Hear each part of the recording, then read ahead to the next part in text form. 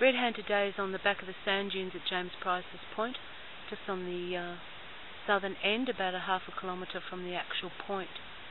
And I just want to give you a, a, little walk today through what I would say is a very classic rain, uh, remnant rainforest, also known as monsoon vine thickets. I just want to show you the large eucalyptus papuans. There's the white eucalyptus trees that you can see in the background. These are unusual in a vine thicket, but in this particular area there's quite a community of them.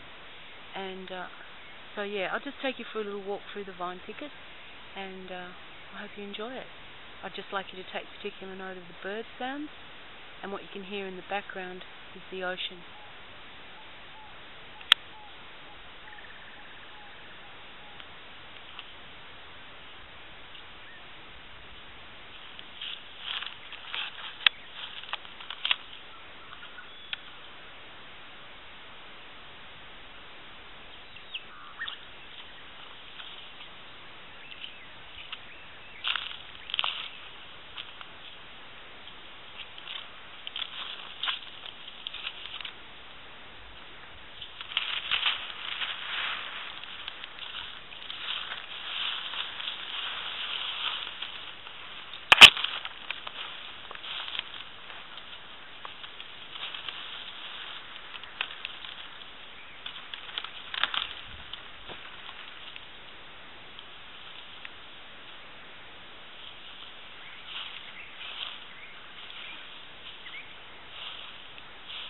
Don't actually know what's happened in here, but you can see that there's a survey peg that's been laid down here.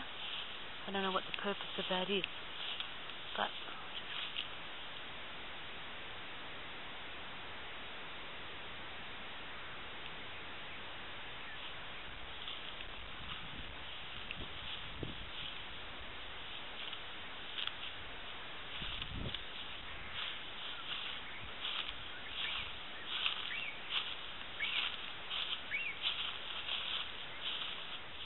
So I've been walking north, uh, following a dingo's tracks on the back of the Holocene sand dune here at James Price's Point to give you an understanding of the vine thickets and uh, and the density in which these these thickets are incredibly shady and cool under here.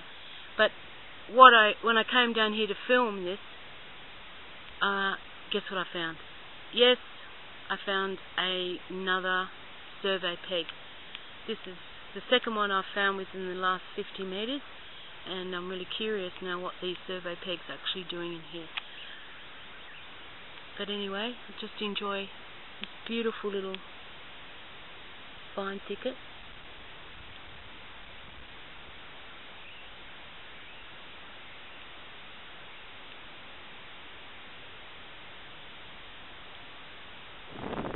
We're still on the back of the uh, Holocene sand dunes approximately half a kilometre from actual James Price's Point.